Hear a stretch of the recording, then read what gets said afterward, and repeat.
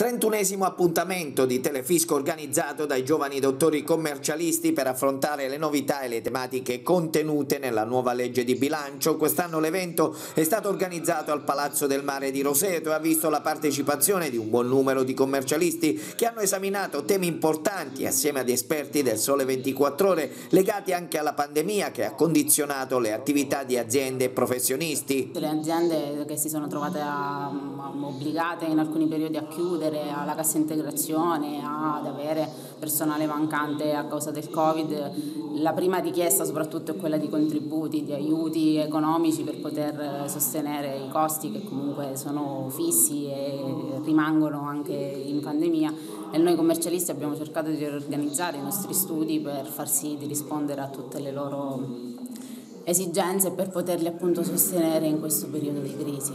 Un settore, quello delle imprese, che non sta vivendo un momento facile per via appunto della pandemia? Sì, assolutamente sì. Tutti i settori, da quelli industriali, commerciali, eh, sono segnati indubbiamente dalla pandemia, noi cerchiamo con il nostro lavoro e con il nostro supporto di essere vicini agli imprenditori e di fare quello che possiamo eh, per far sì che superino questa parentesi della vita imprenditoriale brillantemente e che non rimangano colpiti. La nuova legge di bilancio contiene elementi importanti per garantire la ripresa delle imprese una volta superata l'emergenza sanitaria. E tra le novità della legge di bilancio sono previste eh, molte iniziative volte all'aiuto per le imprese per la ripresa post pandemia. Quali sono questi aiuti? Insomma, su cosa si può contare?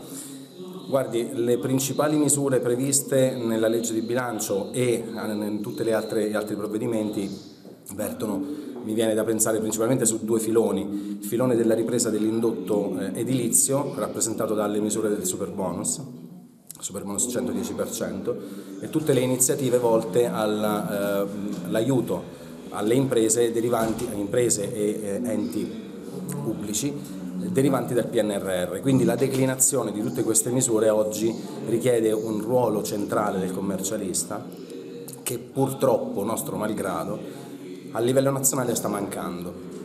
Manca per una serie di divisioni interne alla categoria che oggi sono totalmente fuori luogo.